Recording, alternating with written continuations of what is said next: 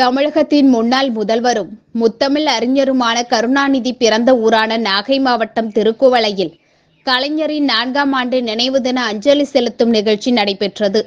திருக்குவளை அஞ்சுகம் முத்துவேலர் அரசு மேல்நிலைப் பள்ளியில் இருந்து புறப்பட்ட மௌன அஞ்சலி ஊர்வலத்தில் தமிழ்நாடு மீன்வளர்ச்சிக் கழக தலைவர் கௌதமன் தலைமையில் திமுகவினர் ஆயிரத்திற்கும் மேற்பட்டோர் பங்கேற்றனர்.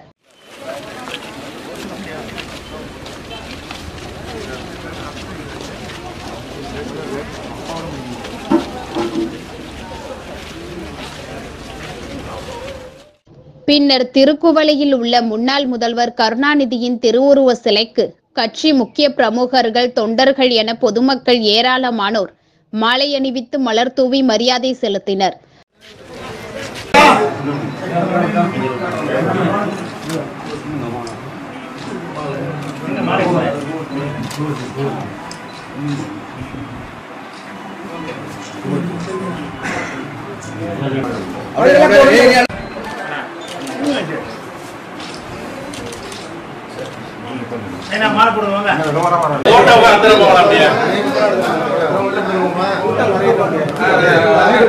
அதனைத் தொடர்ந்து கருணாநிதியின் இல்லத்தின் முன்பு திமுகவினர் ஒரு நிமிடம் மௌன அஞ்சலியும் செலுத்தினர்.